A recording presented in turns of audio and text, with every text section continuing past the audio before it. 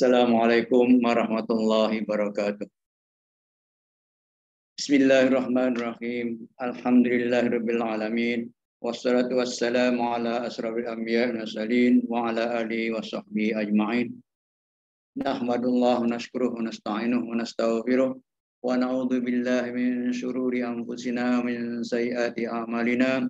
Wa man yahdihillahu fala mudilla lahu wa man yudlil fala hadiyalah. Rabbi sahli sadri wa yasril amri wa hludatan min lisani yafqahu qawli.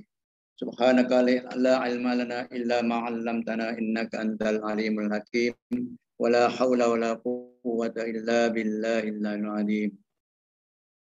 Terima kasih kepada Ustaz Wali yang telah menjadi fungsi majlis. Mudah-mudahan uh, kita Allah berkati kehidupan dia insyaallah. Alhamdulillah wa syukurillah kita sama-sama kita merapatkan syukur kepada Allah Taala di atas nikmat yang Allah kurniakan kepada kita yang tak terhingga banyaknya.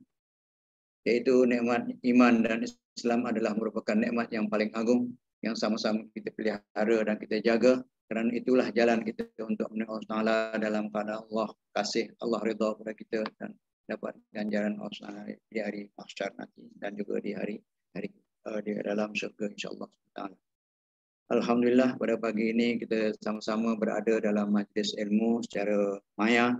Mudah-mudahan apa yang saya sampaikan ini untuk uh, tuan-tuan dan puan-puan pada pagi ini akan memberikan eh, manfaat dan natijah yang baik untuk kita dapat beramal dengan apa yang saya sampaikan ini dan juga bagi saya syukur kerana kita dapat bersama-sama dalam majlis ilmu ini dan dengan ini saya akan cuba menyampaikan sesuatu untuk tuan-tuan dan puan-puan sebagai memenuhi uh, tugas kita sebagai uh, apa ni pendai untuk menyampaikan sesuatu yang baik dan dapat kita amalkan insyaallah. Kita syukurlah kerana hari eh, ini adalah merupakan hari yang kita tunggu-tunggu ya di mana uh, kita menghadapi wabak ya, COVID yang begitu ya, melanda negara kita sehingga akhir, akhir tahun ini mudah-mudahan cahaya cerah ya, mula nampak terbayang pada kita di mana eh, pihak berkuasa pihak kerajaan telah berusaha untuk apa, apa untuk mengurang dan dan menghapuskan wabak ini. Dan nampaknya ada perasaan uh, apa ini gembira di kalangan umat Islam khususnya dan orang uh, masyarakat di negara kita pada pagi ini. Kerana kita mendapat uh, berita yang agak baik mudah-mudahan insya-Allah pada akhir tahun ini kita akan dapat mengurang, mengurang, mengurangnya dan seterusnya akan hidup seperti biasa lah. Ya.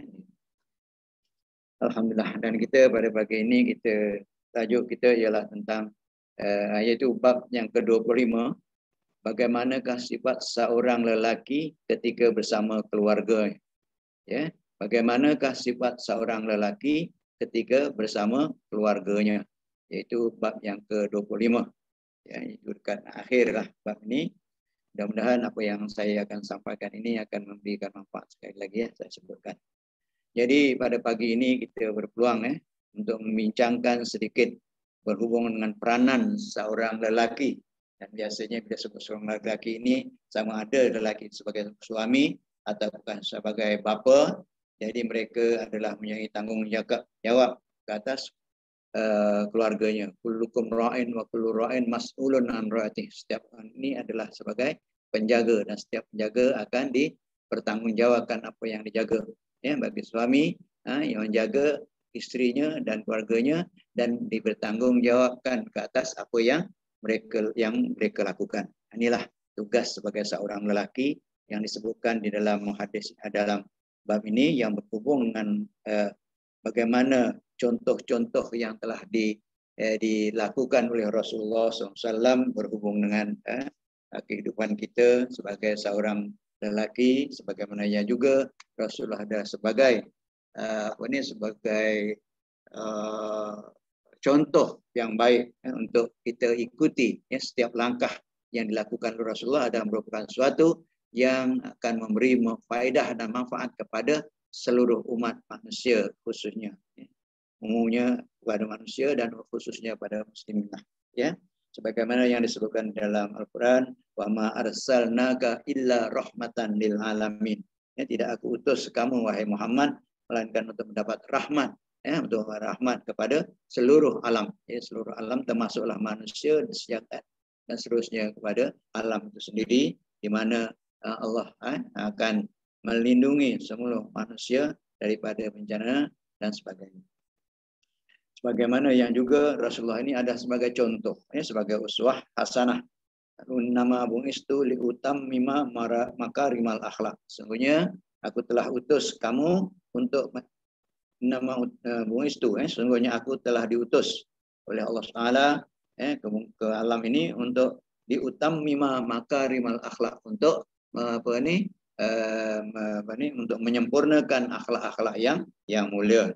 Eh, dan kerana itu apabila uh, Aisyah pernah ditanya tentang akhlak Rasulullah maka jawab Rasul uh, jawab Aisyah ialah uh, akhlakun Nabi ialah akhlak dia ya akhlakku al akhlakku akhlakku al Al-Quran. Jadi akhlak Nabi itu adalah berasaskan kepada sumber Al-Quran. Jadi sebagai contoh ya sebagai contoh ya usah hasanah itu sebagai contoh yaitu di mana uh, Nabi adalah orang yang membimbing manusia ke arah jalan yang terbaik ya sebagai suatu satu tanggungjawab yang sangat berat yang dilakukan Rasulullah terhadap umat manusia seluruhnya. Jadi menjadi contoh. Yang inilah kita pun semuanya ingin diri kita sebagai contoh kepada keluarga diri kita, keluarga kita kepada masyarakat dan seterusnya. Jadi saya tidak ya, kita tuju terus kepada bab ni iaitu bab lam yakun nabiyyu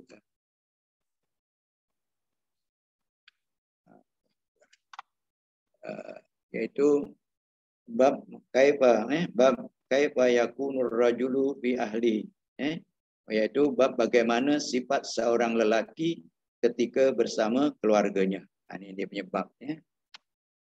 Jadi dari si objektif eh kajian pada pagi ini ialah pertamanya dari si bab tadi ialah menerangkan tentang keindahan pergaulan Rasulullah dengan keluarganya sebagaimana yang sebutkan tadi sebagai suatu uswah hasanah eh, iaitu walakat kana lakum fi rasulillah uswatun hasanah eh bagi kamu wahai umat mukmin eh kamu akan ya mendapat satu contoh contoh tauladan yang baik eh hasanah ya kerana nabi adalah sebagai pembimbing kepada umat manusia ya itu sama ada pada keluarga ataupun kepada masyarakat.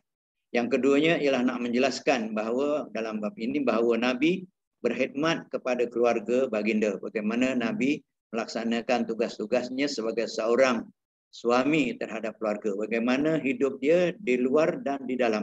Maknanya di luar ini di luar dari tanggungjawab kepada masyarakat dan bagaimana tanggungjawabnya kepada kepada ahli keluarga. Inilah yang kita nak sentuh eh, tentang bagaimana pendekatan-pendekatan eh, approach yang disampaikan oleh Rasulullah terhadap umatnya berhubung dengan uh, keadaan kekeluargaan dia ya, di rumah dia bagaimana keadaan suasananya. Ha, ini semuanya akan dapat kita lihat daripada hadis yang akan bacakan insyaAllah.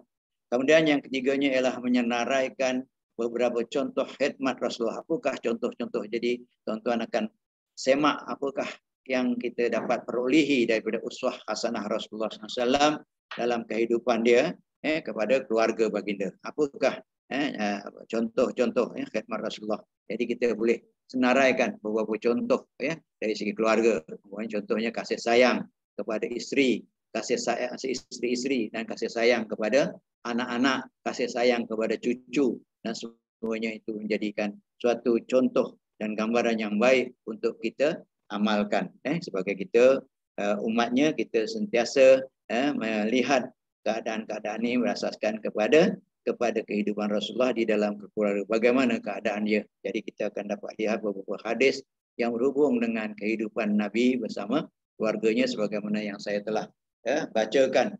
Di dalam bab ini berbagai tempat ya, berbagai bab yang saya menyatakan tentang bagaimana Nabi melayani ya, isteri-isteri, bagaimana dia melayani anak-anak dan bagaimana melayani orang-orang yang yang apa ni yang dhaif, yang kecil atau kanak-kanak dan sebagainya, semuanya sudah kita uh, jelaskan dalam bab-bab yang sebelum ini.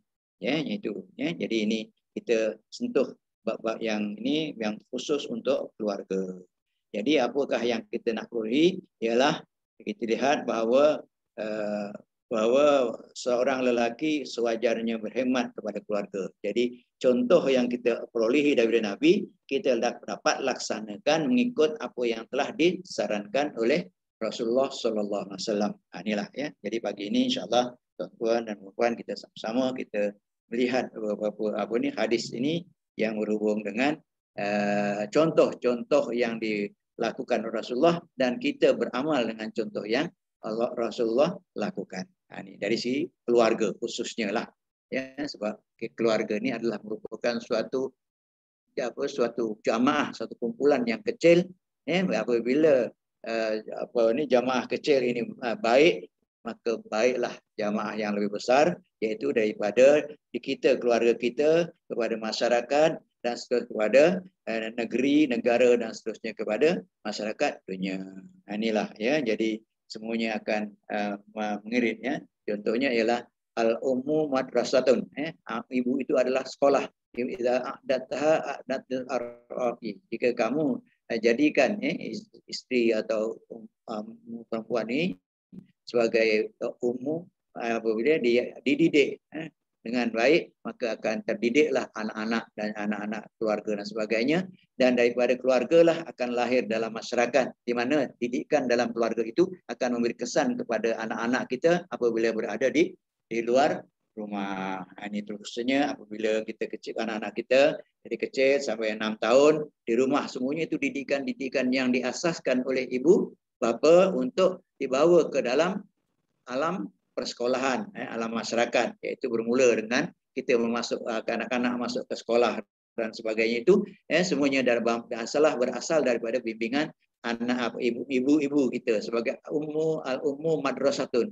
Mak ini adalah sebagai sekolah sekolah ya madrasatun. Idza data jika kamu sediakan ibu apa mak-mak itu tadi adat dalil a'raqi akan menjadi akan mendapatkan hasil dapat hasil daripada Arab ni ni ialah ya, apa ni darah apa ni uh, keluh ataupun hasil daripada didikan mak yang yang menjadi guru kepada anak-anak kita inilah ya jadi saya akan bawa sedikit ya ini iaitu bab ini ialah bagaimana keadaan dan tingkah laku seorang lelaki ya yang kita ambil contoh daripada Rasulullah yang bersama dengan ahli keluarganya. Jadi kita ah, contoh Nabi itu kita dapat praktikkan dalam keluarga kita. Bagaimana kita nak laksanakan ya dan sebagainya. Ini semuanya sudah ada pada tuan-tuan dan puan-puan sendiri. Kerana ini kita, kita telah mengalami. Kita dah zaman peringkat dah ya peringkat dah berumur ni anak-anak kita dapat kita lihat dengan mata kepala kita bagaimana anak kita yang telah kita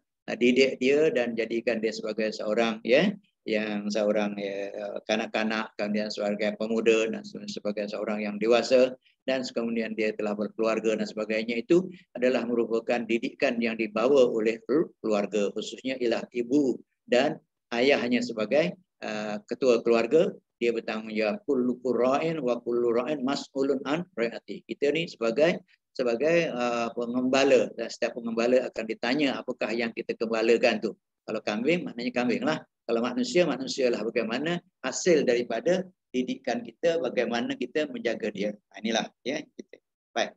Kita pergi kepada teks hadis dia. Iaitu dalam muka surat 2234 ya. Hadis yang 25. Anil Aswad qala sa'altu Aisyah radhiyallahu anha ma kana an-nabiyyu yasna'u fi ahlihi qalat kana fi mihnati ahlihi wa idza khadaratil shalah wa idza khadaratis shalah aqama ila shalah rawahul bukhari. Itu hadis yang sahih ya daripada Imam Bukhari. Ya. Baik, terjemahan dia.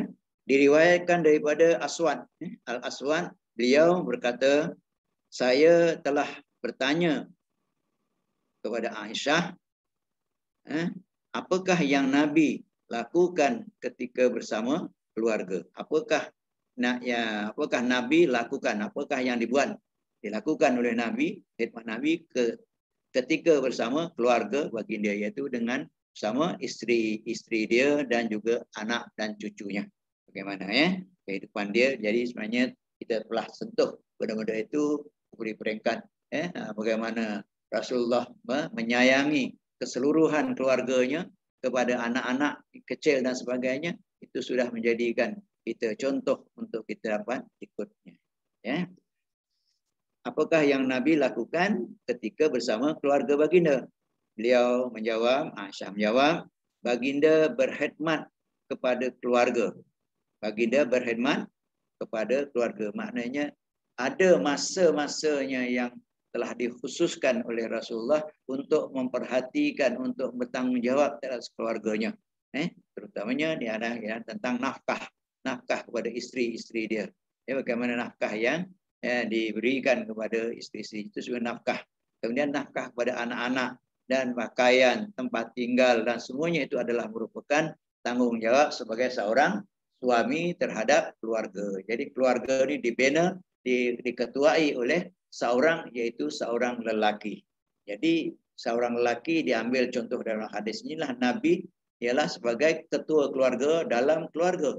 Dalam dalam luar eh, dia akan menjadi imam sebagai pemimpin di dalam amal ibadah dan dia menjadi pemimpin kepada menjadi ketua uh, tentera di dalam medan perang ya dalam medan perang ya. Jadi begitu juga di dalam hal kenegaraan Nabi menjadi ketua negara ya di mana tanggungjawab dia ya dalam negara dalam hal apa ini pentadbiran negara atau politik negara dilaksanakan oleh Rasulullah sallallahu alaihi wasallam dan itu semuanya ya dapat kita lihat bagaimana sejarah Rasulullah sendiri daripada peringkat dia berada di Mekah ya sehinggalah dia berhijrah dan seterusnya menubuhkan satu kerajaan kerajaan Islam di di Madinah ya selama berapa 11 atau 12 tahun ya. Yang ini semuanya merupakan uh, contoh yang boleh diambil oleh kita semua umat Islam tentang apa yang dilakukan Rasulullah. Jadi Rasulullah bukan saja sebagai nabi yang menyampaikan uh, utusan kepada manusia daripada Allah juga kepada manusia. Jadi kepada orang ramai pun nabi adalah merupakan menjadi menjadi memberikan apa ini mempunyai tanggungjawab kepada seluruh umat manusia pada hari itu dan sehinggalah hari uh, kiamat, kiamat nanti insyaAllah. Keduanya ialah uh, bila juga apabila tiba waktu solat, eh, kata kita faida khadaratis solat apabila telah masuk waktu sembahyang, qama ila solat Nabi akan pergi ke masjid dan sembahyang menjadi imam kepada umat umat umat pada masa itu iaitu pada uh, orang-orang Islam pada zaman Rasulullah iaitu para khulafa dan sebagainya itu dan juga kepada sahabat-sahabat ya. Jadi dia menjadi imam dalam sembahyang. Jadi imam di sini imam di dalam sembahyang juga dia juga imam di dalam kenegaraan. Ya dalam negara dia menjadi ketua jadi uh, ketua negara dan sebagai uh, sebagai ahli ibadah dia jadi ketua kepada ibadah ya khusus ya solat dan lain-lain semuanya nabi memimpin umat ya, sehinggalah dia eh, wafat ya, jadi sehingga sakit. Pada waktu sakit pun Nabi masih lagi cuba untuk memimpin ya, dalam waktu dalam sembahyang tapi kadang-kadang tidak mampu maka digantikan ya, minta kepada Abu Bakar As-Siddiq radhiyallahu anhu untuk mengimamkan. Walau bagaimanapun Nabi ya, dalam keadaan itu Nabi boleh ya berada di dalam uh, apa ni di waktu sembahyang itu. Jadi dalam keadaan merangkak ya, keadaan kata orang terpaksa diangkat eh, dan dipimpin untuk sembahyang dia tetap menunaikan sembahyangnya walaupun dia tidak jadi imam telah diwakilkan kepada Abu Bakar As-Siddiq radhiyallahu. Inilah contoh pendek ya ringkas hadis ini tapi menjelaskan dua dua perkara yang penting. Pertamanya bagaimana tindakan-tindakan Rasulullah terhadap keluarganya. Apa yang dilakukan sepanjang berada dengan keluarga dan bagaimana dia melaksanakan ibadah khusus khususnya ialah sembahyang tadi dilaksanakan pada waktu yang telah ditentukan waktunya. Maknanya Nabi tidak pernah meninggalkannya. Ya, bahkan perkara yang sunat, sunat ya apa ini perkara-perkara yang sunat yang apa yang dilakukan semuanya menjadi contoh kepada kita sebagai uswah hasanah ya, di mana Nabi ya, sehingga perkara sembahyang sunat pun tidak pernah tinggal khususnya ialah sembahyang ya, qabla fajar iaitu sembahyang sembahyang sunat sebelum sebelum subuh. Ini contoh yang kita lihat bagaimana Rasulullah sendiri istiqomahnya untuk menunaikan tanggungjawabnya kepada keluarga dan kepada masyarakat Islam itu sendiri. Ya. Kita lihat kepada huraian hadis ya, ini. Ya. An Aswan, ya, diriwayatkan daripada Al Aswan, ya, beliau ialah Aswad bin Yazid, iaitu seorang tabiin. Ya, tabiin. Tabiin ini ya selepas zaman sahabat, kemudian tabiin. Ya, selepas sahabat dikatakan sebagai tabiin, iaitu zaman sudah diganti dengan para selepas sahabat. Ini generasi selepas sahabat dikatakan sebagai tabiin. Ya. Makanan Nabi yasna'u fi ahlihi. Ya. ya ini asalnya ialah uh, soal tu. Ya. Soal tu Aisyah aku bertanya. Ya. Aswad bertanya kepada Aisyah radhiyallahu an makanan Nabi uh, makanan Nabi yasna'u fi ahlihi. Apakah yang Nabi lakukan ya, di dalam keluarga baginda? Apakah yang dilakukan Eh, Nabi kepada keluarganya ketika dia berada dalam keluarga. Maksud sini ialah Nabi lakukan apa saja yang dilakukan khidmat dia eh, eh, apabila baginda berada bersama keluarga baginda. Eh, berada sama keluarga baginda. Ha, ini, eh. Qalat kana fi mihnati ahlihi. Eh, kata Aisyah, kanat eh, fi mihnati ahlihi. Kana ya fi mihnati ahlihi. Iaitu baginda berkhidmat. Mihnah ni maknanya khidmat ya mihnah.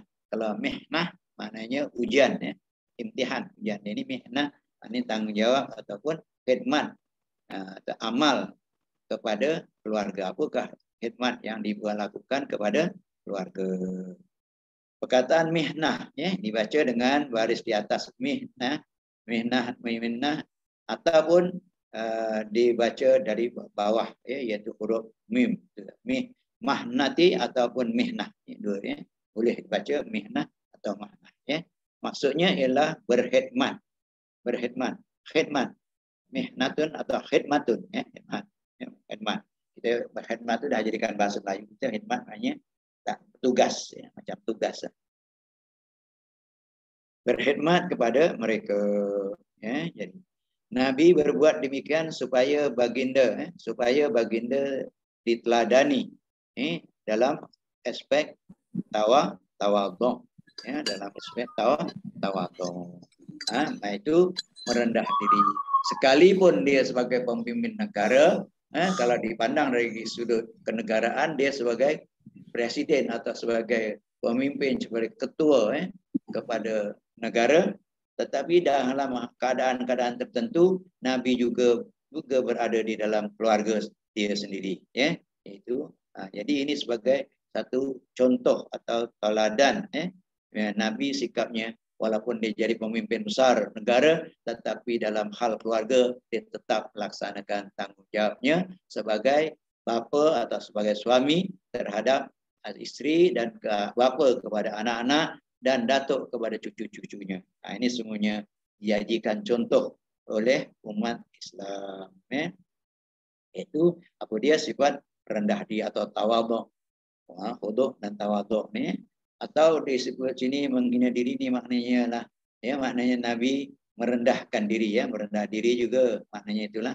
Ya, dalam keadaan dia maknanya dia tak rasa sombong, tidak rasa takbur atau nak meninggi apa ni Uh, meninggi diri atau sebagainya. Ya tidak pernah ya. Tidak. Kemudian menjauhi bermewah-mewah ya. Jadi nabi ini sifatnya ialah menjadi contoh. Jadi nabi tidak pernah bermewah-mewah dalam kehidupannya. Bermewah dengan hidup yang uh, sepatutnya ya. Dia dalam keadaan tidak pernah bermewah-mewah jauhi kemewahan dan mengelakkan daripada kesenangan yang dicela. Apakah kesenangan yang dicela? Kita akan lihatlah nanti ya. Maknanya apa ni ke mengelakkan ya, kemewahan yang kesenangan yang tercela ni ialah mensenang untuk kepentingan sendiri dan sebagainya ya. Kemudian kita lihat di sini ya. Disebut di dalam riwayat eh, Ahmad bin Ibnu Hibban eh, daripada Aisyah yang menerangkan apa yang dilakukan oleh Nabi di rumah.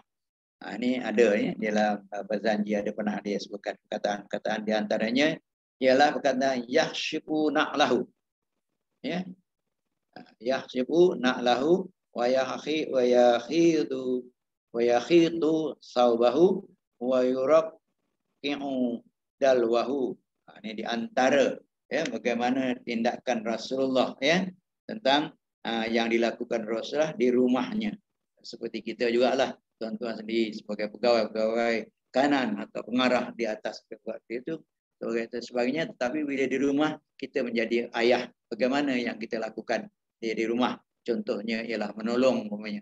Menolong isteri menyediakan makanan menyediakan membantu apa yang boleh dibantu? Menolong eh. Kalau di dapur kita membantu apa yang kita boleh bantu ya basuh pinggan umpamanya. Kita menolong untuk mengangkat itu dan mengangkat ini mengemaskan dan sebagainya adalah merupakan suatu didikan yang sangat ya tawaduk eh, kepada keluarga. Inilah satu eh, apa ni eh, contoh yang dapat dilihat dalam kehidupan Nabi SAW dan itu menjadi contoh untuk kita lakukan. Walaupun kita dalam keadaan hebat dari segi kedudukan darjat dan pangkat kedudukannya di luar eh, dalam perkhidmatan tetapi apabila sampai rumah mereka ini meletakkan kedudukan dalam keadaan yang tawaduk iaitu dia tidak menganggap dirinya sebagai ketua uh, yang uh, di pejabat pejabat pengarah sebagainya tetapi menjadi suami yang menunjukkan kasih sayang eh, kepada keluarganya dan membantu apa yang sepatutnya dia dia bantu ya. Jadi Rasulullah dalam kehidupan kita kita lihat dari kehidupannya ya. Dari rumah bagaimana Nabi orang yang sangat tawadhu dan orang yang sangat eh, uh, merendahkan diri sehingga kan ya Nabi pernah ya bertanyakan sesuatu kepada Aisyah, tanya kepada uh, isteri-isteri dia eh, tentang makanan. Ya. Pada pagi, pada waktu pagi Nabi pernah ya ini bertanyakan kepada istrinya, apakah yang ada pada kamu pada pagi ini? Jawab kata Aisyah, adalah sebiji kurma ya dan sebagainya. Dan ada satu waktu itu memang tidak ada makanan. Nabi pernah ya tidak ya, apa ini dihidangkan dengan makan sebanyak dua hari ketika hari tiga hari itu ya. Dan apabila ditanya tidak ada oh, tidak ada apa ya Rasulullah ya istrinya maka Nabi kata an wa ana imun saya pun puasa. Jadi Nabi terus pada masa itu sebang apa ni puasa tu puasa sunat. Jadi selagi kita belum makan pagi itu kalau kita niat sembahyang nak puasa maka pada itu dia lakukan puasa jadi Nabi wa ana imun saya puasa. Ha, inilah contoh bagaimana Nabi walau dalam keadaan yang tidak ada makanan yang dilakukan ialah dengan puasa. Contoh itu ya, mana nak menunjukkan eh kalau dah tak ada nak buat macam mana. Ha, gitu je lah.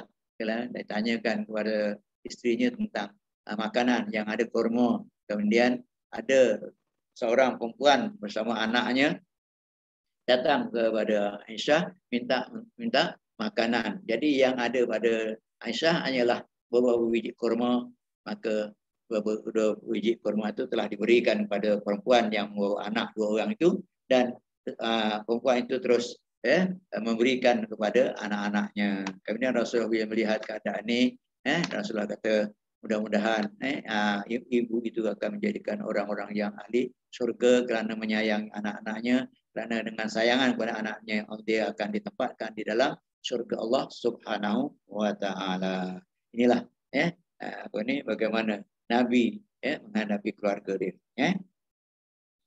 Baik, yang syibu na'lahu, apakah tindakan kalau kita fikirkan ya, ya di sini kita lihat ya yang syibu na'lahu ni ialah maknanya ialah uh, baginda menjahit menjahit menjahit dan membaiki kasutnya.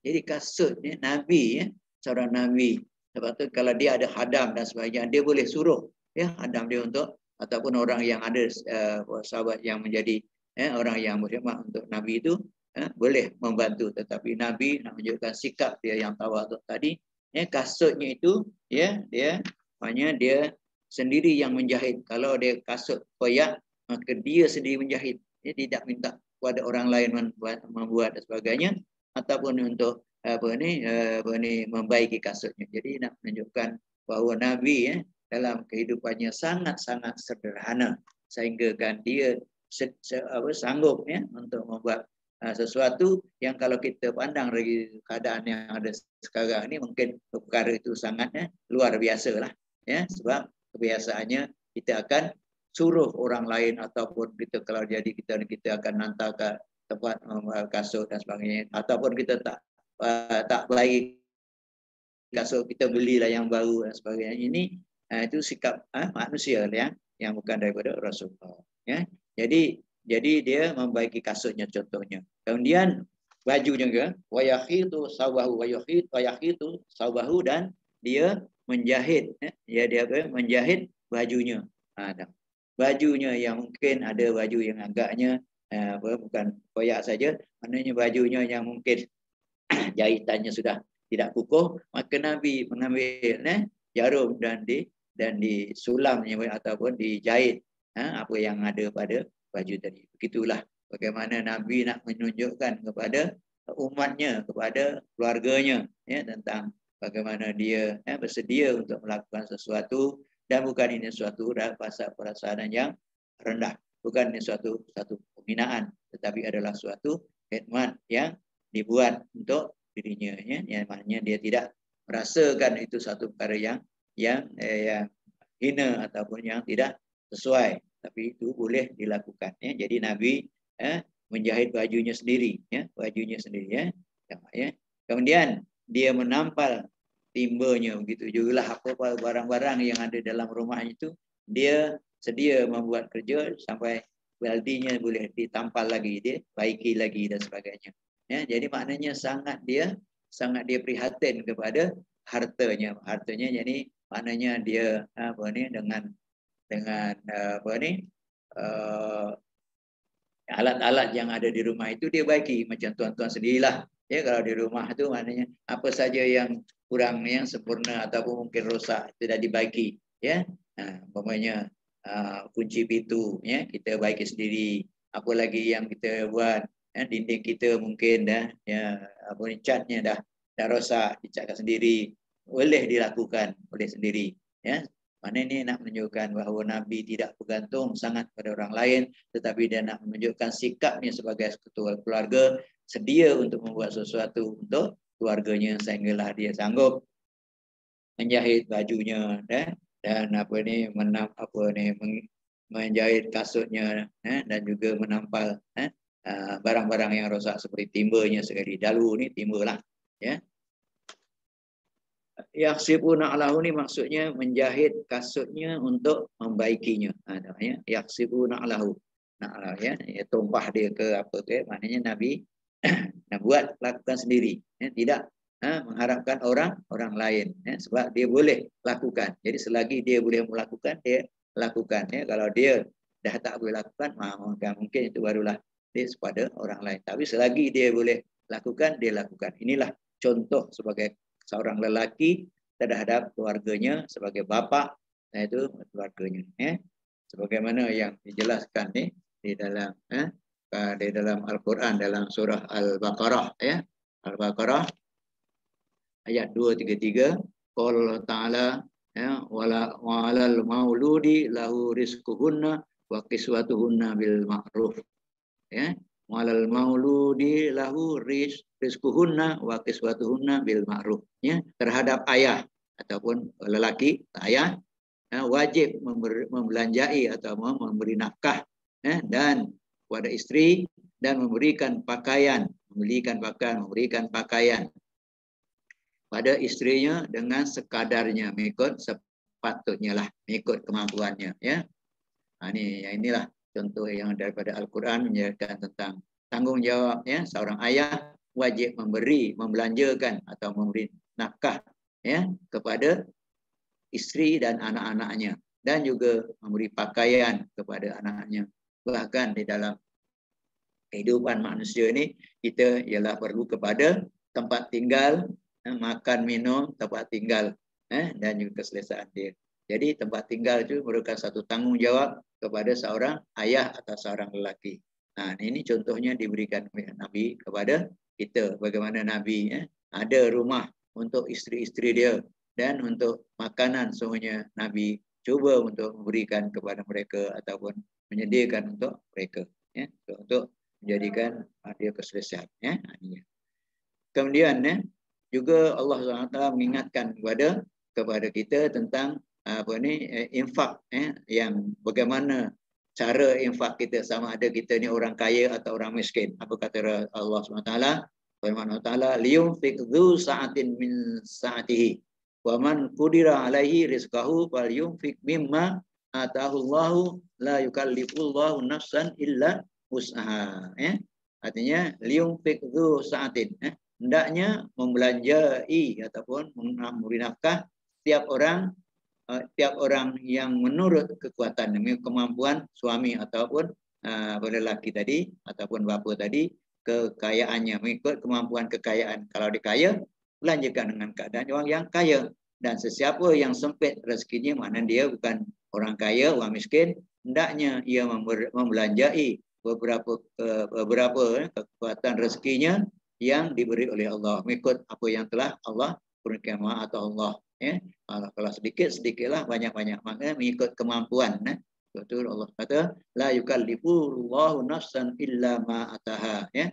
Ya maknanya Allah tidak membuat memaksakan sesuatu orang melainkan sekadar kekuatan tenaga yang diberikan kepada dia tentang apa yang dikurniakan Allah kepadanya. Jadi bukanlah menjadi bukan kita nak membebankan sehingga kita menyukarkan kita tetapi sekadar eh, kemampuan kita. Kalau kita orang kaya, kayalah cara kita membelanjakan harta untuk untuk keluarga. Begitu juga yang miskin, misalnya janganlah kita orang yang miskin nak jadi orang kaya ya atau sebagainya. Ya. Jadi ini semuanya gantung kepada ikut kemampuan kita. Ya. Begitu juga perkara-perkara yang contoh ya contoh lelaki ini ialah di antaranya uh, daripada hadis Rasulullah SAW. Eh? An Abi Hurairah radhiyallahu an qala qala Rasulullah SAW dinarun anfaqtu fi sabilillah wa dinarun anfaqtu fi raqabatin wa dinarun tasaddaqta tasaddaqta bihi ala miskin wa dinarun anfaqtu ala ahlika a'azamuha ajruh ajrul ladhi anfaqtahu ala ahlik ya bagaimana ya, contoh yang di mana yang paling baik di antara kita ber, apa ni uh, ni membelanjakan sesuatu. Satu dinar mendermakan kepada perjuangan fisabilillah. Eh, satu lagi uh, satu dinar eh, dipergunakan untuk memerdekakan hamba budak hamba atau hamba atau satu dinar ke uh, kau sedekahkan kepada orang miskin. Dan satu dinar yang kau uh, belanjakan untuk keluargamu yang terbesar di antara perbuatan-perbuatan itu yang terbesar pahalanya ialah yang membelanjakan untuk keluarga. Dalam perkara infak dinar satu dinar itu daripada empat orang empat jenis uh, apa ni infak yang kita keluarkan itu mana yang lebih agung manalah yang lebih utama pahalanya ialah kepada kepada keluarga. Jadi keluarga adalah didahulukan daripada segala-galanya. Jadi mesti kita lihat sesuatu kalau nak infakkan sesuatu kita mesti lihatlah keluarga kita kemampuan keluarga kita. Jadi kita utamakan keluarga dulu daripada yang yang lain. Nah inilah kelebihan bagi orang seorang lelaki dia akan membelanjakan sesuatu untuk uh, keluarganya dulu itu lebih utama ya daripada yang lain. Jadi yang lain itu bolehlah yang selepas ya ya, nak carikan mana yang besar. Kemudian ya, juga Rasulullah melaksanakan ya afdalud dinar yang fikur rajul dinaru yang fikur ala ayalihi. Katanya, yang paling afdal ya, dinar ataupun ringgit yang diinfakkan seorang lelaki ya, ya itu ya yang diinfakkan ialah kepada keluarganya yang paling afdal ya. Dinar yang dinafkahkan oleh seorang lelaki kepada keluarganya wa dinarun yang yunfiqu ala dabati fi sabilillah wa dinarun yung ala ashabi fi sabilillah. Jadi yang lain-lain itu masih lagi diberikan uh, yang utama yang yang biasa tetapi yang paling utama ialah afdalu dinar itu yang yunfiquhu rajul dinarun yunfiqu ala yali yaitu dinar yang diinfakkan untuk keluarga. Jadi dia mengutamakan keluarga. Ya, keluarga itu untuk kerana kita kesesaan keluarga itu adalah kesesaan kita. Jadi kita utamakan keluarga kerana itu kullukum ra'in wa kullu ra'in mas'ulun an ra'yati. Para julun itu ah, apa ni? Ya apa ni? Mas'ulun an an zaujihi wa ahli baiti. Ya. zaujati. Ya, baik. Kemudian ya, dalam uh, hal ini kita lihat ya, bagaimana uh, dalam satu riwayat lain ya, oleh Ibnu Hibban daripada Aisyah juga ya, beliau berkata makana illa basharum minal bashar ya kama yafli saubahu wa yahlubu syatahu wa yahdumu nafsahu wa yahdumu nafsahu ya ya ya, ya. baginda hanyalah seorang manusia seperti manusia yang lain ya. Nabi ini adalah seperti manusia yang lain juga ya tentang tanggungjawab dia ya. Walaupun dia rasul dan dia sebagai pemimpin ketua negara sebagai imam dalam sembahyang jamaah dalam masjid namun dalam hal keluarga dia adalah menjadi orang yang biasa seperti manusia yang lain juga ya dari segi tanggungjawab melaksanakan tanggungjawab terhadap keluarga iaitu tentang keluarga juga menjadi satu peranan di dalam kehidupan Nabi. Bukan dia nak mengabaikan. Apabila setengah orang itu, kadang-kadang bila tempat keluarga pentingkan kepada negara dan sebagainya, tetapi dengan keluarga dia tidak begitu ambil berat. Ha? Dia ambil ringan. Kerana itu keluarganya.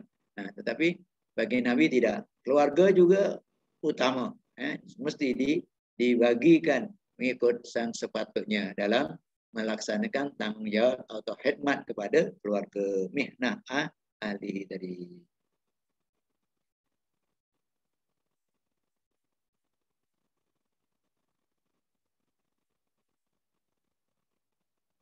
Kemudian karena yafli saubahu ya di antaranya ialah baginda juga memerah ah uh, yafli maknanya uh, membilik uh, baginda sendiri membelik-belik ya, pakaiannya untuk eh, mencari mencari kutu dan sebagainya. Mana Nabi menjaga pakaiannya pun dia jaga pakai, ya, maknanya tempat yang dia letakkan itu mengikut apa yang sepatutnya. Ya, dan kalau ada apa ada semua ke apa semuanya dialah yang menguruskan. Ya, jadi tidaklah meminta pada orang lain untuk melakukan.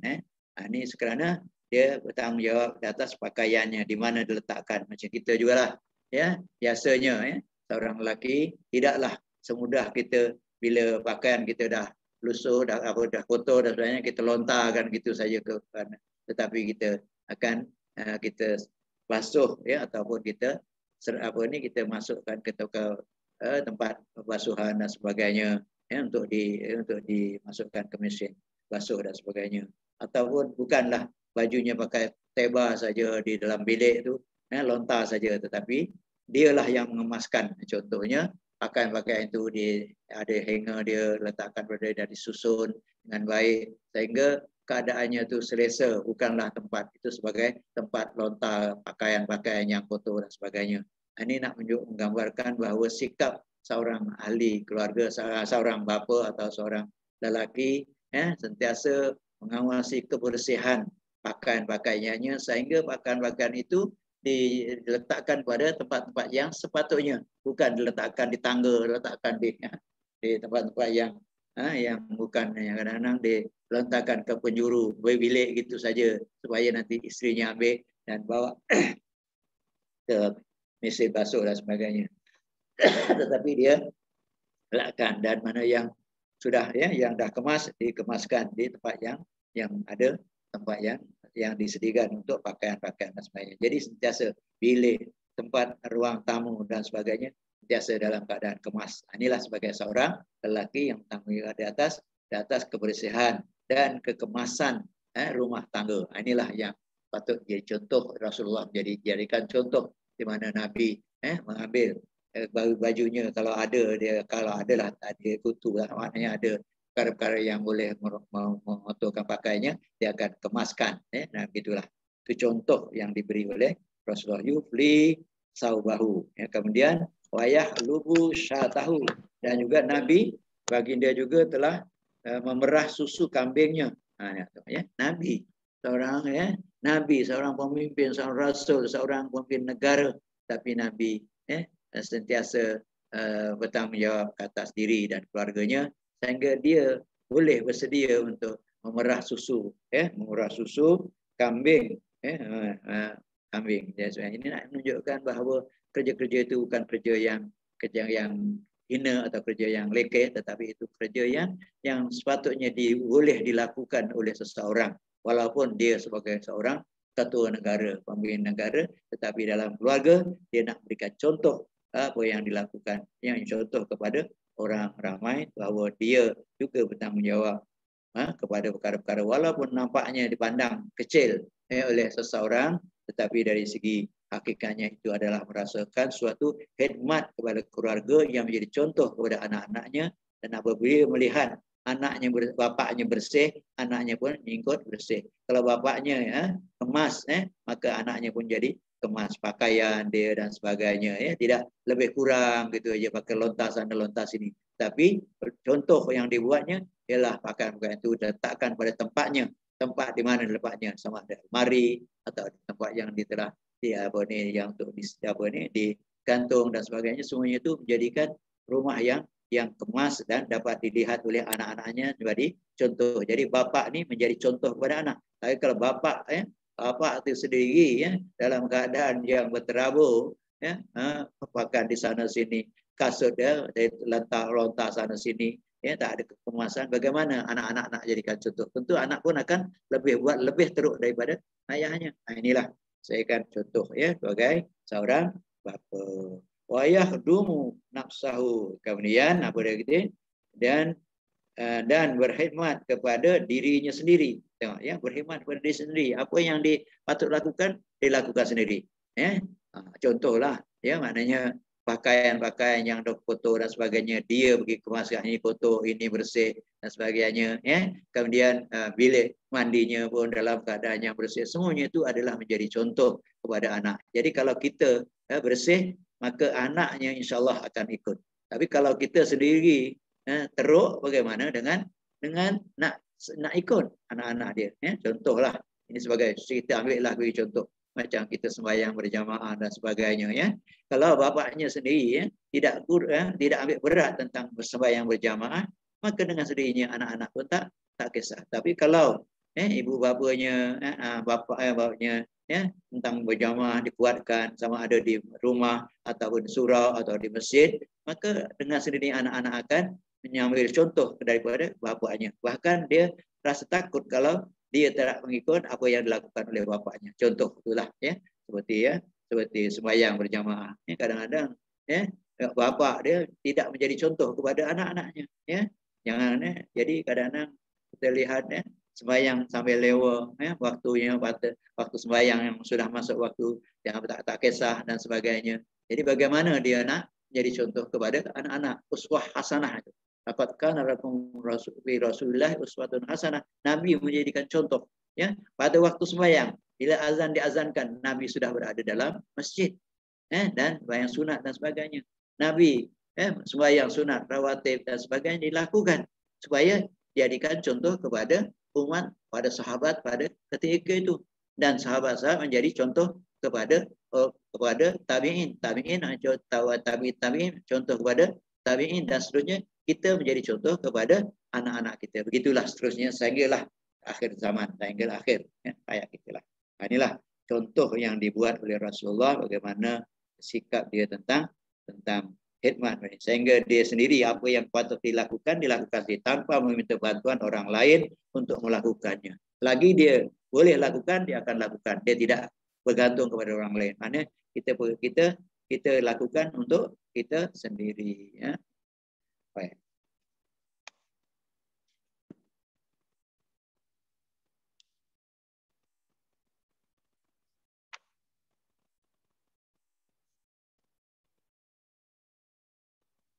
Kemudian daripada hadis kita lihat eh, contoh-contoh yang dapat kita lihat eh, dalam ini iaitu tentang infakkan eh, infak maknanya kita membelanjakan uh, wang ringgit kita untuk keluarganya ya daripada an Sa'ad bin Abi Waqqas Sa'ad bin Abi Sa'ad Waqqas radhiyallahu an fi hadisin tawil ya. Apa hadisnya di dalam itu yaitu tentang niat ya. Dalam bab niat anna Rasulullah SAW qala lahu dia kata kepada kepada Sa'ad bin Waqqas wa innaka la tunfik lan tu lan lan tunfika uh, nafaqatan biha wajhullahi illa ujirta biha hatta ma yaj'alu fi fi fi fi muraati. Fi muraatik. Muttafaq alaih ya. Cuba kita ini sebagai contoh ya. Maknanya apa saja yang kita belanjakan ya, untuk diri untuk keluarga adalah merupakan suatu suatu ganjaran yang akan kita berolehi ya. Ya tiada kau membelanja tidak kamu membelanjakan apapun jua eh, eh, kau yang kau niatkan kerana Allah iaitu kita membelanjakan sesuatu untuk kerana untuk mendapatkan ganjaran dari Allah melainkan mendapat pahala. Maknanya kita membuat sesuatu ya, yang kita lakukan dari nafkah kita yang kita buat belanja yang kita buat tadi dengan niat untuk mendapatkan ha, apa ni ganjaran dari Allah Allah akan beri ganjaran pahala. Ha, inilah jadi nawa itu kita niat kita bagaimana? Kalau kita eh maknanya eh, kerja-kerja kita ni kita lakukan semata-mata kerana Allah ya. Bukan kerana orang lain bukan kita riak orang kita supaya orang sebut nama kita. Kita ada infakkan kita ada belanja kan duit kita kepada eh, sesuatu yayasan dan sebagainya dan supaya kita orang uh, apa ni pandang kita supaya orang sebut kita bukan itu niat kita ialah untuk lillahi taala maka Allah akan beri ganjaran tapi kalau kita untuk riak maka riak itu tidak memberi apa-apa untung kepada seseorang akhwab akhwabu ma akhabu atau asyirku al asghar kata Nabi kata aku yang paling takut ya yang aku paling takut ialah ialah tentang uh, uh, akhwaku ma'akhwaku ialah asyirku al-asghar iaitu apa yang aku paling takut ialah syirik kecil. Kemudian sahabat tanya, kemudian saya tanya, apakah dia ya Rasulullah apa ni uh, syirik kecil itu ialah al-riya iaitu menunjuk. Jadi amalan-amalan kita dengan kita uh, apa ni kita uh, apa ni niat kita tu untuk ikhlas kerana Allah maka dapat ganjaran. Tapi kalau kita niatnya untuk supaya orang eh, sebut orang supaya kita nampak bangga kita bahawa kita bersedekah maka itu adalah merupakan suatu kerja syirik kecil. Jadi kerja itu ialah ar-riya. Ini Nabi sangat takut kepada umatnya sekiranya mereka lakukan seumpama itu. Ya. Uh, sehinggalah yang kamu masukkan ke dalam mulut isteri kamu ya dapat hal memberi makan pada istrinya sehingga apa yang kamu suapkan kepada istri kamu itu tetap mendapat ganjaran kerana keikhlasan kamu sebagai seorang suami sebagai seorang lelaki kepada keluarganya iaitu dia kita infakkan eh, sehinggalah makanan yang disuapkan kepada istri yang kita pergi kita belikan dan sebagainya itu itu akan mendapat ganjaran. Jadi inilah kelebihan orang yang faham tentang eh, infak tentang kita membelanjakan sesuatu kepada keluarga.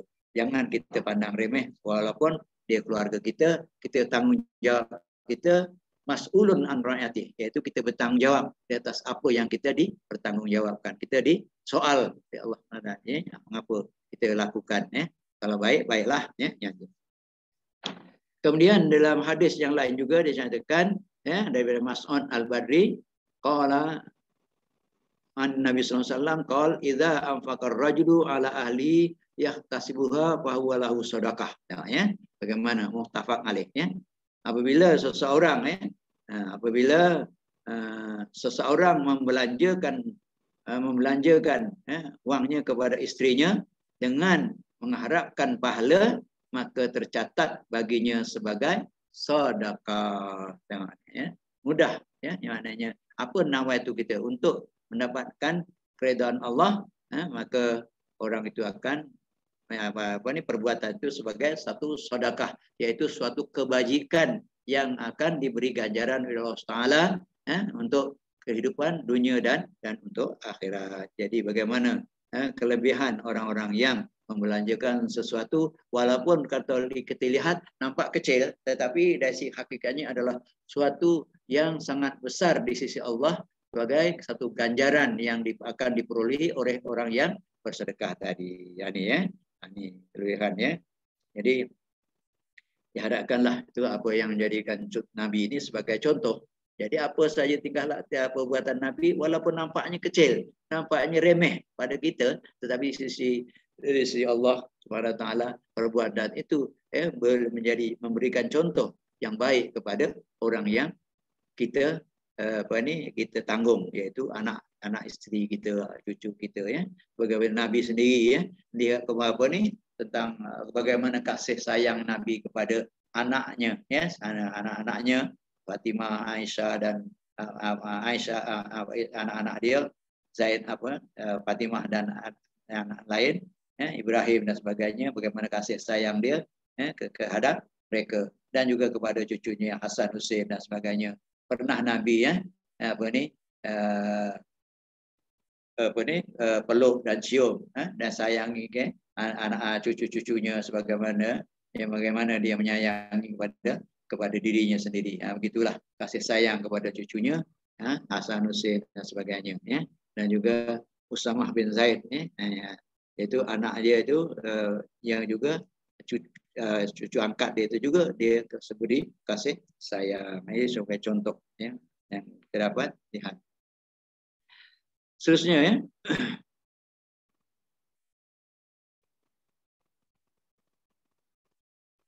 Sabda Rasulullah SAW, kafa bil mar'i isman an yudi'a man yakutu. Ha, ni satu lagi ya.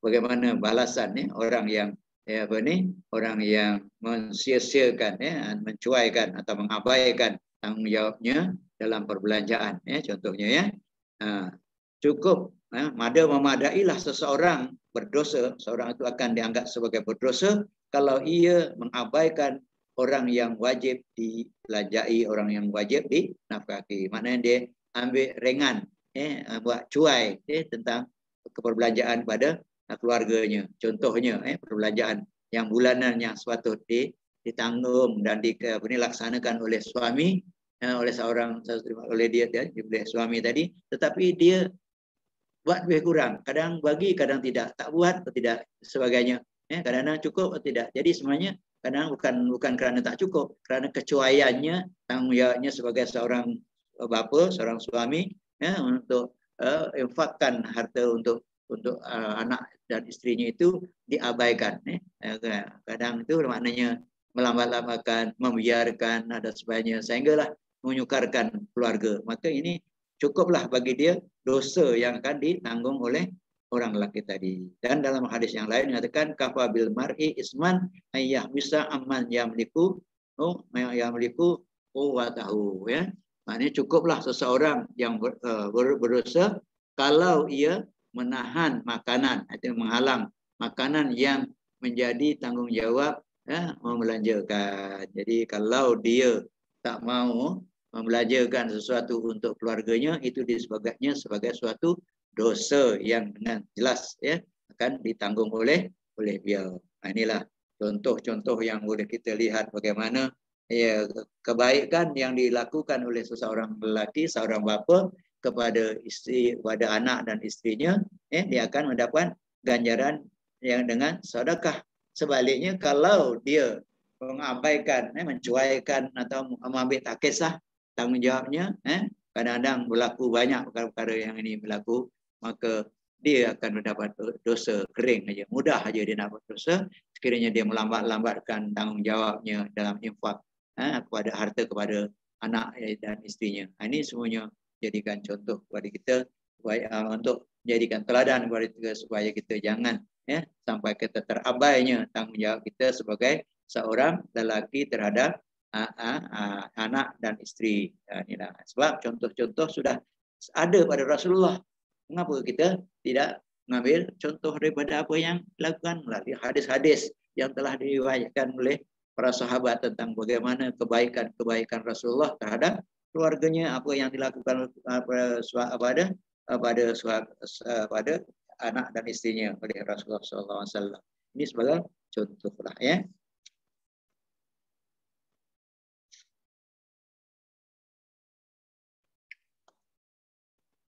Kemudian kita lihat ya, tentang pengajaran ya, apakah pengajaran ya, yang boleh diambil daripada hadis Rasulullah hadis yang berhubung dengan tanggungjawab seorang lelaki atau seorang suami ataupun pada keluarganya seorang pelapor keluarganya bagaimana sebagai ketua keluarga yang bersifat tawadhu ya. Kalau kita ambil pengajaran ini bahwa Rasulullah mempunyai sifat tawadhu. Tawadhu ini dalam bahasanya merendah diri bukan rendah diri tapi merendah diri mananya tawa amananya dia tawadhu dalam walaupun keadaan dia hebat tetapi pada pada pelaksanaan pada dirinya dia merasakan ialah sebagai satu tanggungjawab iaitu tanggungjawab dia kepada keluarga. Walaupun dia hebat mana pun tetapi tanggungjawab kepada keluarga tetap diutamakan. Ha, itu yang dikatakan sebagai ketua keluarga bersifat tawaduk dalam kepada keluarga. Jadi tidak merasa dia hebat ya ha, ha hebat.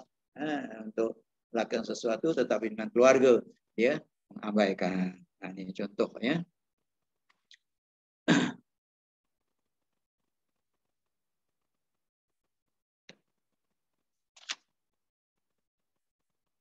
Daripada Abi Hurairah radhiyallahu an an Abi Hurairah an Nabi sallallahu alaihi wasallam qala al yadul ulya khairu min minal yadis sufla wabda biman ta'ul wa khairu sadaqah ma kana an dhahrihi ghinan. Wa ma yasta'tif wa ma yasta'fif yu'afifu Allah. Allah wa man yastaghni yughnillah rawahul Bukhari. Ya bagaimana? Ya tentang kelebihan kita infak harta kita kepada kepada uh, orang yang berhak menerima nafkah tadi ya. Tengok ya, ya. Daripada Abu Hurairah radhiyallahu an, anin Nabi sallallahu alaihi wasallam daripada Nabi sallallahu alaihi wasallam qala kata Nabi sabda Nabi al yadul ulya khairum min minal yadis sufla ya. Tangan yang tinggi yang yang tangan di atas tangan yang di atas lebih baik dari tangan yang di bawah. Tangan di atas, eh, tangan yang di atas lebih baik daripada tangan yang di bawah. Ini adalah suatu apa ini permisalan eh, atau perbandingan ya, masalah ya. Nah, sebagai misal ya, sebagai contoh yaitu dan dahulukan dalam pemberian pada orang yang menjadi tanggung tanggunganmu. Wabda biman ta'ul dan utamakan dahulukanlah orang yang di bawah tanggungan wa khairus sedekah dan sebaik-baik sedekah makana an zahrihi ghinan dan sebaik-baik kita nak melaksanakan sedekah ialah ketika kita kaya kita berada kita ada uang ya. Jadi kalau dah miskin dah tak tak ada ya. Sebaik-baiknya. Kerana uh, itu ya nanti kan saya bincangkan wa man yasta'fif dan sesiapa yang eh ifah maknanya menjaga uh, uh, menjaga diri ya ni maknanya siapa yang sopan maka Allah akan memelihara kesopanannya ya. Kalau sopan dia tak mau minta-minta dan sebagainya dia apa kita ada maruah ada jaga dari walaupun dia miskin walaupun dia memerlukan tapi dia tidak pernah meminta-minta maka orang-orang ini adalah Allah akan pelihara kesopanan dia.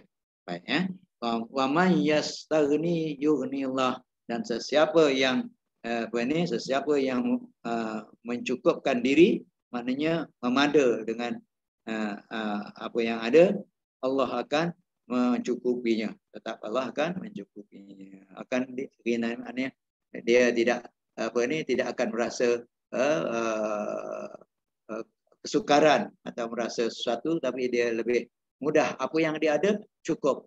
Ha, itu. Ya, memadai dengan apa yang yang ada. Kalau kita lihat ni apa kata yang di hadis ini? Al yadul ulya khairun min minal yadis sufla. Tangan yang di atas ya. Sudah jelas ya. Uh, tangan yang di atas itu lebih baik daripada tangan yang di bawah ya contoh yang kita lihat tu ialah kita tangan yang di atas mana tangan itu kalau kita memberi mengulur sesuatu benda kepada orang lain apa yang kita pegang tangan kanan kita tu kita akan pegang benda itu dan kita kita bagikan kepada orang yang yang kita nak beri. Orang yang beri biasanya dia tangannya di bawah. Maknanya di bawah tangan kita. Jadi kita nak ulur, dia akan sambut. Jadi mas itu yang dikatakan tangan yang di atas. Yang menyambut tu tangan yang di bawah tu yang menyambut yang menerima. Jadi tangan yang memberi itu lebih baik daripada tangan yang menerima. Nah, tu. Tangan yang utamakan tu. Eh? Jadi tangan yang uh, di atas tu mana bila kita pegang biasa gitu. Tak ada orang memberi memberi sesuatu atau memberi sesuatu sedekah apa sebagainya kita hulurkan tangan kita di bawah dan orang ambil daripada atas tak, tak ada biasanya yang disebutkan di atas itu maknanya yang memberilah. Ha, itu dikatakan perbedaan bahasa ya. Ha, perumpamaan ya bahasanya ya tangan yang di atas itu memberi dan orang yang bawah itu yang menerima dikatakan di bawah tangan yang bawah. Jadi yang ini orang yang menerima, orang yang menerima dengan orang yang memberi. Jadi yang di atas yang memberi, orang yang memberi itu lebih utama daripada orang yang di, diberi. Nah, itu contohnya itu dia punya maksud dia itu ya. Kemudian wabda tahun dalam keadaan itu pun mana orang yang memberi itu siapa yang nak mula-mula nak diberi? Siapa orang yang patut? Orang yang mula yang uh, sepatutnya yang diutamakan kawan ya. Orang yang siapakah yang nak diutamakan untuk beri? Adakah kita beri kepada orang miskin? Kita beri kepada sana, kita beri kepada apa untuk uh, apa ni sedekah sana, sedekah sini, sedekah sana atau sebagainya? Maka jawab kat situ biman ta'un. Wabda mulakan eh pemberian kamu itu sedekah kamu itu apa saja pemberian kamu itu biman ta'ul kepada orang yang orang yang eh, apa ini eh, orang yang eh,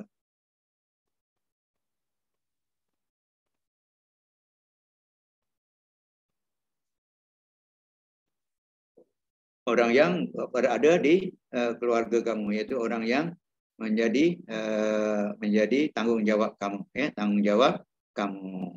Jadi orang yang di bawah tanggungan lah. Siapa yang tanggungan? Iaitu keluarga. Siapa keluarga itu? Ialah anak isteri. Kemudian siapa? Ibu bapa. Itu semuanya dalam keluarga. Dalam keluarga itu. Waris-waris keluarga itu. Ya, adik-beradik dan sebagainya. Kita utamakan pemberian kita kepada uh, ibu bapa kita. Kepada anak kita. Kepada adik-beradik kita. Itu yang paling dekat. Kalau takdirnya ada orang miskin yang di luar. Tapi ada keluarga kita yang miskin. Maka utamakan yang keluarga itu kerana dia kemiskinan itu kita bagi yang dia utamakan dengan dia.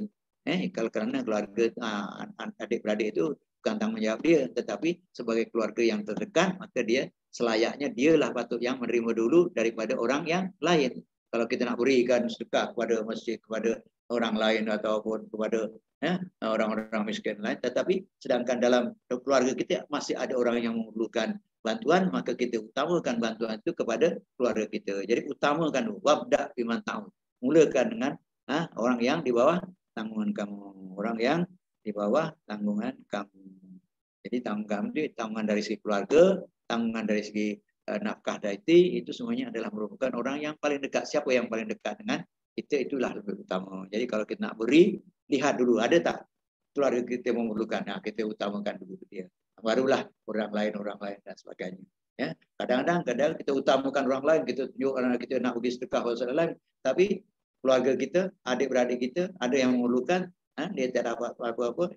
Ha, jadi yang sebaik-baiknya sepatutnya ialah keluarga kita. Inilah yang kena diajar oleh hadis ini supaya kita mulakan dengan orang yang di bawah tanggungan. Hanya orang yang jadi kaum kerabat kita lah.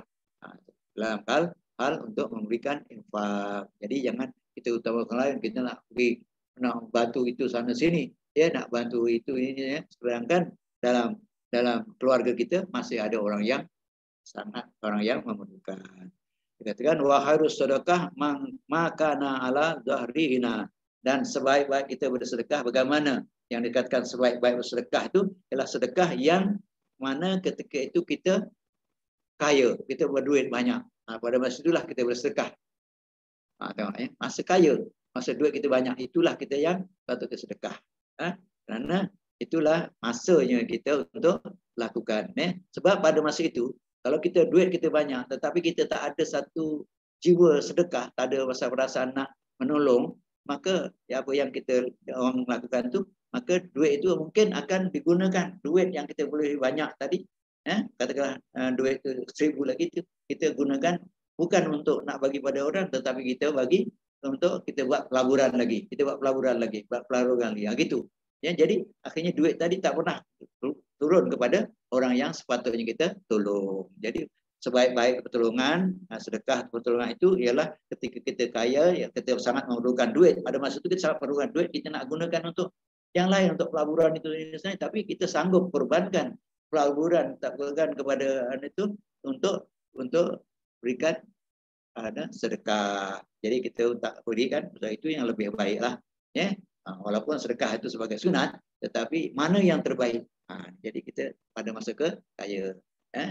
Ha, masa kaya kerana kita kita sangat memerlukan duit. Kita nak beli itu, nak beli ini. Tiba-tiba sebahagian itu kita gunakan untuk kita sedekahkan. Bagaimana? Kemudian kan terasa. Maknanya duit yang sepatutnya kita boleh dapatkan barang, kita tak jadi dapat barang, tapi kita eh, hanya kita dapat urutkan kepada orang yang memerlukan. Tak nampak dia punya keuntungan di situ. Tetapi di hakikatnya ganjaran itu daripada Allah SWT. Ya, pada zahirnya memanglah ya, tak dapat apa. Tapi kalau duit yang seribu tadi kita gunakan untuk buat ini, untuk dapat ini, beli ini sebagainya, kan dapat faedahnya. Pada pada zahirnya nampaklah keuntungan tu. Tapi kalau kita sedekah kepada orang, tak nampak keuntungan dia. Tetapi keuntungan itu lillahi ta'ala kerana Allah ta'ala Allah akan balas di akhirat nanti. Ya, ini kelebihannya. Baik. Kalau dia miskin, dia kalau dia miskin, mana mana dia miskin, apa yang dia nak beri kan? Sedangkan dia sendiri dia memerlukan. Jadi pada miskin miskin tu.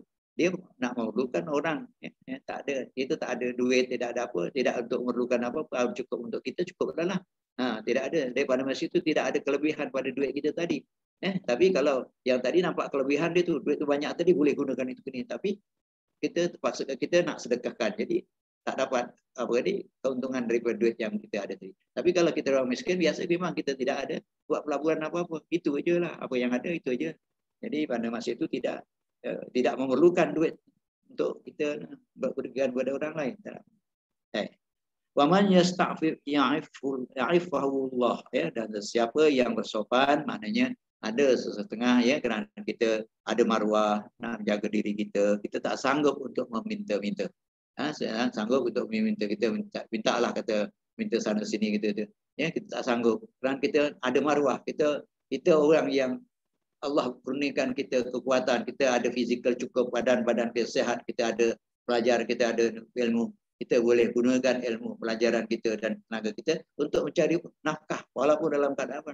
Ya, sebab tu katakan ha, orang yang ya, pergi memikul bawa tali dan memikul kayu api, ya, dia belanjakan uh, cari kayu api dan dia jualkan. Itu lebih baik daripada dia meminta-minta. Ha? dia cari sendiri. Maknanya dia usaha sendiri. Pergi ke uh, apa saja yang kita dalam uh, swasta kita berniaga dan sebagainya kita buat usaha sendiri. Kita tak mau minta-minta supaya kita di sebagai orang yang uh, mar marhin eh, sebagai kita orang tak sedekah tak mau. Kita buat kerja sendiri. Kita ada tenaga. Ini lebih baik daripada kita meminta kerana meminta itu sama ada orang tu memberi ataupun tidak. Sedangkan kalau kita ada tenaga kita buat kerja jadi keuntungan daripada tenaga kita sungguh-sungguh buat kerja tu insya-Allah. Walaupun dalam kita punya contohnya sekarang dalam keadaan PKP ini dah banyak ya orang-orang kita ya yang berniaga itu buat ini dan sebagainya. Daripada dia kerja di atas sebagai pilot dan sebagainya. Tapi bila dah ke apa ni dah dia kerja dah tak ada tak boleh kerja sudah berhenti kan dia buat kerja-kerja yang dia boleh buat bukan dia minta harapkan daripada pihak kebajikan sana sini minta tidak tapi dia berusaha. Ah, inilah yang terbaik ya. Uh, itu kata khairul uh, ya al yadul mulia khairum min jadi supla ya. Tangan yang di atas memberi itu maknanya apabila memberi itu maknanya kita ada duit. Kita dia dalam keadaan tak ada duit, kita bekerja dapat duit, kita infakkan guna. Itu lebih baik daripada kita meminta-minta. Kerana orang meminta-minta ni itu sama ada orang tu beri atau atau tidak. Sedangkan kalau kita buat kerja ya, sendiri sungguh-sungguh insya-Allah dia dapat dapat apa yang kita hajati. Ya jadi kita dapatlah sekurang-kurangnya untuk menampung kehidupan kita sendiri. Tak boleh kita untuk apa ni bersenang diri ataupun kita uh, goyang kaki saja tunggu harapan orang memberi dan sebagainya.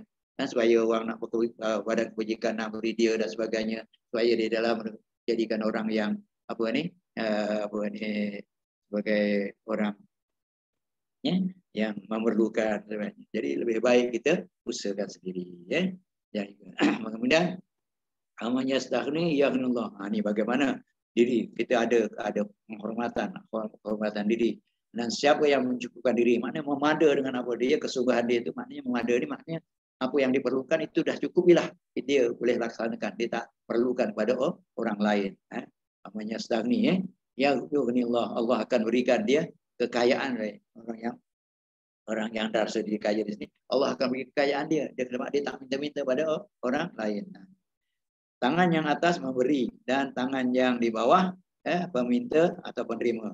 Kelebihan kekayaan, kelebihan dari keperluan seharian, sehari-hari dengan sepantasnya yang sepatutnya ya yastafif segan untuk minta pada orang lain walaupun merasa kekurangan walaupun dia kekurangan ya, tetapi dia tidak sanggup untuk dia duduk menadah tangan dengan mangkuk juga dia tu di tepi jalan minta sedekah tak mau jadi dia berusaha dia pergi ke mana-mana boleh dia kerja apa yang dia boleh kerja eh? pergi ke restoran-restoran eh hanya jadi pembasuh pinggan pun dapat eh? dapat apa ni uh, bayaran ni sekurang dia dapat dibayar untuk untuk diri dia. Ha, ni jangan kita mencari orang uh, jangan menjadi uh, jadi orang yang malas nak kerja. Ha? Kita nak mengharapkan orang lain, kita tak mau kerja. Buat cari apa yang kita boleh. Apa apa ke apa kemampuan kita yang kita lakukan. Kita apa bidang kita, apa yang kita boleh buat. Kita kena sungguh-sungguh buat untuk akhirnya orang tu.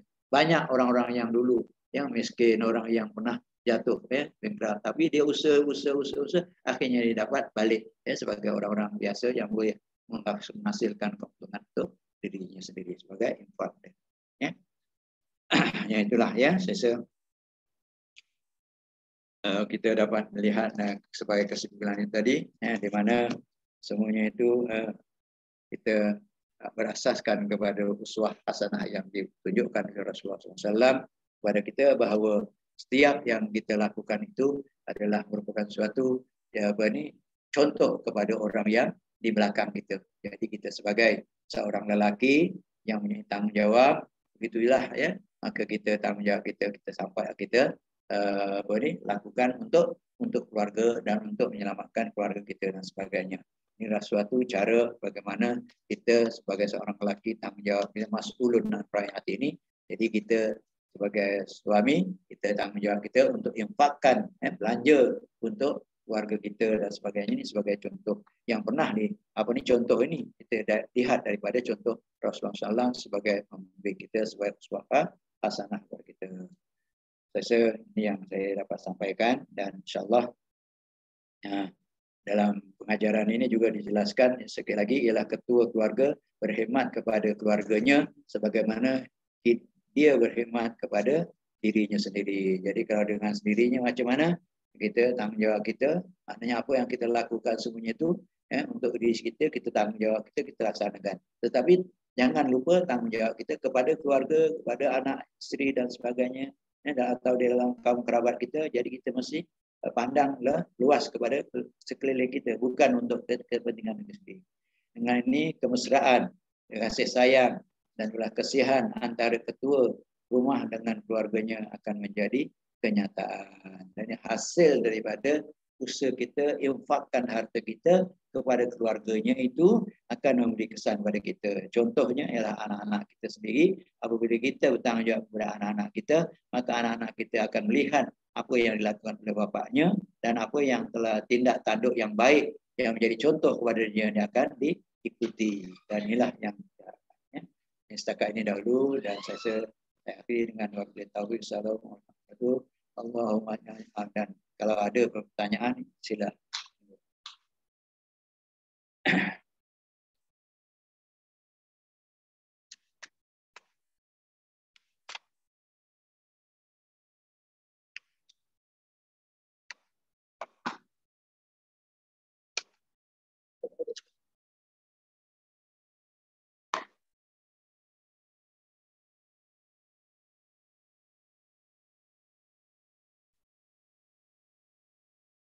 Adakah Nabi sebutkan had tempoh masa tanggungjawab penuh seseorang ayah kepada kepada anak lelaki dan dan anak perempuan ya?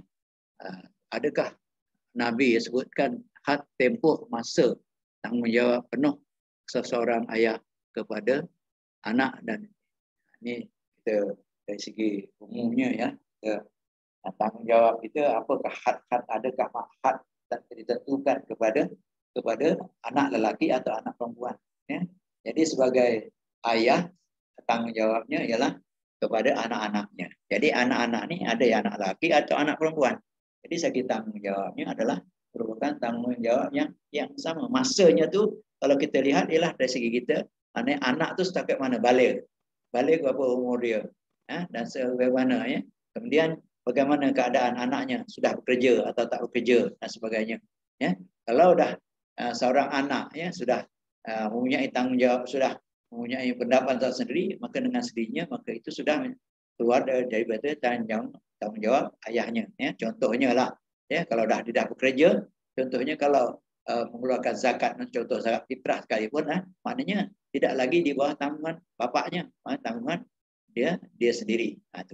Tetapi bagi yang anak perempuan tanggungjawabnya selama mana anak itu masih lagi dengan tanggungan kita sebagai masih lagi masih uh, apa ni belum bersuami dan sebagainya maka itu menjadi tanggungjawab kita. Itu itu contohlah yang kita lihat mana anak-anak kita selama mana dia masih lagi ya belum berkahwin maka itu anak itu walaupun dia sudah bekerja dan sebagainya itu sebagai tanggungjawab seorang ayah. Seorang ayah ya, ha? tanggungjawabnya mesti ada pada walaupun masanya ha, tidak ditentukan setakat mana tetapi ikut kemampuan orang yang akan kita tanggungjawab tadi ya, yang kita beri bertanggungjawab tadi yaitu kepada anak tidak anak perempuan setakat mana dia selagi dia masih lagi di rumah situ maknanya dia masih lagi uh, belum berkeluarga maka dia bagi tanggungjawab sebagai uh, kepada ayahnya. Bagi lala anak lelaki kalau dia sudah ya anaknya sudah cukup nafkahnya dah boleh mencari rezeki sendiri maka itu sudah menjadi terlepas daripada tanggungjawab ayah. Ustaz, kita sekarang berada di dalam krisis rumah. Ha. Yang paling terkesan adalah runtuhnya institusi kekeluargaan Islam. Ha, ini yang terkesan. Yang sedihnya kita sebagai datuk-datuk yang uh, hanya datuk-datuk hanya mampu melihat cucu-cucu kita terdedah kepada gaya hidup bermewah-mewah dan menunjuk-nunjuk di kalangan uh, di kalangan para artis. Uh, ahli politik dan lain apakah pandangan ustaz di dalam perkara ini? Wah ini luas sih. Tajuk ini memang ya merangkami keseluruhannya. Soalan yang disebutkan itu ialah ya tentang krisis keluarga lah. Jadi krisis keluarga dulu sekarang tu sama masih ada lagi lah. Keluarga ni krisis ni. Itu tentang kekeluargaan Islam ya, di mana uh, uh, datuk-datuk macam saya ni sebagai sudah datuk lah, maknanya ya, melihat uh, melihat saja uh, uh, hanya mampu melihat cucu-cucunya terdedah kepada gaya hidup bermewah-mewah. Jadi hal ini Eh, kita jangkaan-jangkaan ini kita yang penting pada kita tanggungjawab kita sebagai seorang ayah dulu menjadi contoh kepada anak-anak. Jadi kalau sudah datuk ni kita dah kira-kira dah kebanyakannya sudah tanggungjawab tu sudah tidak lagi kita tanggung. Yang itu ditanggung oleh bapak-bapak kepada cucu kita tadi. Jadi anak-anak yang sudah uh, dewasa sudah mempunyai tanggungjawab sendiri sudah kerja itu sebagai tanggungjawab dia Cuma bagi kita sebagai dulu sebagai ayah, sebagai laki sebagai ayah itu sepatutnya itu menanamkan ya uh, dalam hati mereka ialah ketakwaan kepada Allah. Bagaimana kita nak apa ni uh, memberikan ilmu kepada dia untuk diamalkan oleh mereka. Jadi sebagaimana setakat mana kita dapat mempengaruhi mereka masa kita kecil. Iaitu sebab kanak-kanak biasa dari kecil dia akan ikut ikut apa yang dilakukan oleh ibu bapa dia. Tetapi kalau sudah dah besar, dah dia dah pergaulannya dah bebas luas dan itu sudah apa ni tanggungjawab tu walaupun uh, tanggungjawab tu sudah eh, tidak ada bagi kita sudah dah bekerja dan sebagainya tapi oleh kerana dia contohnya itu perlu kepada kita dari dulu jadi kalau kita sendiri patut sepatutnya kita memberi contoh apa nak buat eh? kalau dah kita sendiri dah memberi contoh yang baik tetapi dia tak ikut itu terpulanglah kepada mereka. Jadi kita tanggungjawab kita kita sudah laksanakan. Kita telah beri contoh yang baik dalam hal kekeluargaan, dalam hal kita ya, menunjuk-nunjuk dan sebagainya. Kita menunjuk-nunjuk ini sesuatu yang yang berlaku lah dalam kemewahan ini manusia masing-masing nak tunjuk kehebatan dia. Yang dia sebutkan sebagai itu sebab itu Rasulullah ingatkan akhafu ma akhwafu arya apa ni asyirkul asar ataupun asyirkul sagir eh. Jadi dia kata ah, yang aku paling takut akhir zaman nanti ialah ialah syirik yang yang kecil, syirik yang tersembunyi. Kemudian sahabat kata tanya ya Rasulullah apakah dia katakan syirik kecil itu ataupun dosa kecil itu? Yang jawabnya ialah syirik kecil tadi ialah ha, riak iaitu menunjuk-nunjuk. Jadi sifat menunjuk-nunjuk riak dah memang salah. Nah, jadi sebab itulah pendidikan tu mesti daripada awal. Kita didik daripada awal, daripada kanak-kanak. Kalau sudah kita dah besar, kita nak didik, memang sudahlah. Sebab pengaruh luar ni, pengaruh media ni, lebih daripada pengaruh keluarga. Sekarang ni, dalam keadaan ni, apa ni, uh, dunia dah terluas, ya, alam dah terbuka kepada manusia seluruhnya. Ya, sudah sukar nak nak dikawal, pada pada masa ini sudahlah ya masing-masing tanggungjawab masing-masing lah. Maknanya apa yang nak kita lakukan tu takat mana yang kita masa kita masa berada dengan keluarga kita dan kalau dia dah sudah keluar tu maknanya walaupun itu kita merasa kesalah dengan apa yang tu sebab kita seolah-olah kita pendidikan kita tidak memberi kesan kepada pengalaman. Eh, itu. Sama-samalah kita ahli masyarakat memikirkan perkara itu untuk untuk ha, sama-sama kita mengelakkan daripada perkara-perkara yang dikatakan riak ataupun menunjuk-nunjuk. Yang berlakulah ya uh, selebriti selebriti sebagainya. Ya, kadang-kadang ya dia tidak menunjukkan contoh kepada orang yang di, di yang uh, yang uh, mendengar atau yang melihat ya yang baik ya. Ustaz adakah Nabi sebutkan oh sudah baik menyebut tentang Muhammad SAW bila tiada makanan ha. tadi Ustaz ada menyebut tentang Nabi Muhammad SAW bila tiada makanan baginda niat berpuasa. Saya terfikir, bilakah masa niat Nabi itu?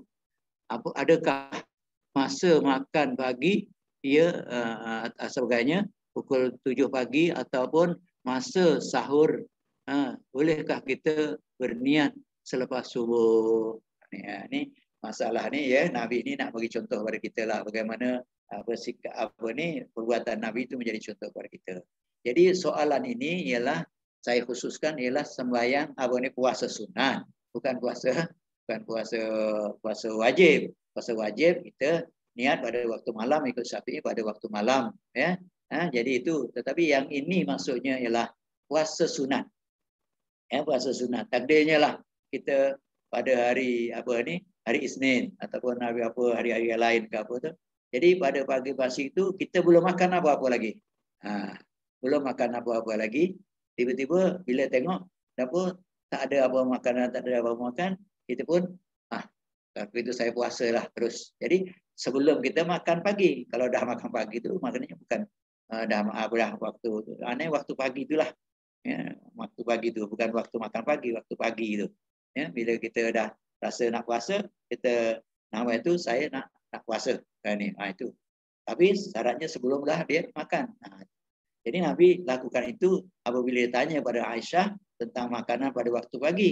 Waktu pagi itu ditanya pada Aisyah, ya Aisyah, tak ada ya Rasulullah. Maka dia pun kata, wa ana sa'im. Saya puasa. Itulah yang saya dapat lihat daripada apa ini uswah Nabi tentang uh, ibadat yang sunat yang dilakukan ketika dalam keadaan yang yang kritikal maknanya masa yang yang tidak ada makan atau sebagainya. Itu sebagai satu contoh Rasulullah. Bolehkah kita berniat selepas subuh?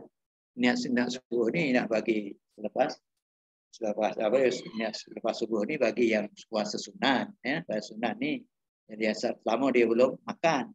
Tapi kalau yang puasa puasa fardu itu dia, dia ada hukum masing lah. Hukum mana sepuasa sebelum sebelum kita subuh. Allah.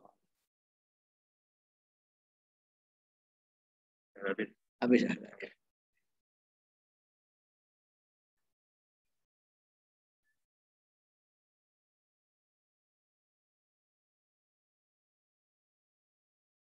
Oh, satu lagi soalan tu, saya cadang satu tajuk lagi sifat seorang isteri ketika bersama keluarga. Boleh Ustaz. Ha, jadi sifat eh siapa cadangannya tajuknya sifat uh, seorang isteri.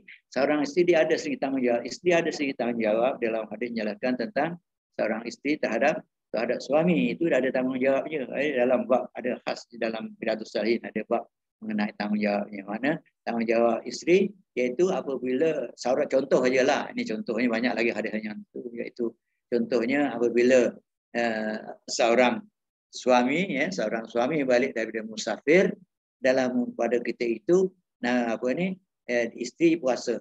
Ya pada masa itu uh, suami uh, balik maka dia pada masa itu dia puasa sunatnya itu dia dibatalkan kerana kehadiran suami pada waktu waktu itu. Itu sebagai contoh. Banyak lagi lah contoh-contoh yang yang menjadi tanggungjawab seorang isteri kepada suami di dalam kehidupan. Ya. Banyak lagi ya. Allah Alam.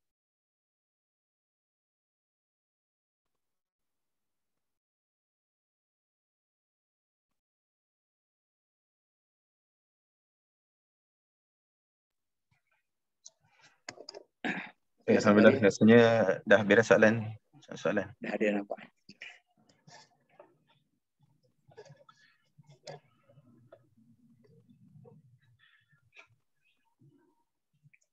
Jadi Alhamdulillah, uh,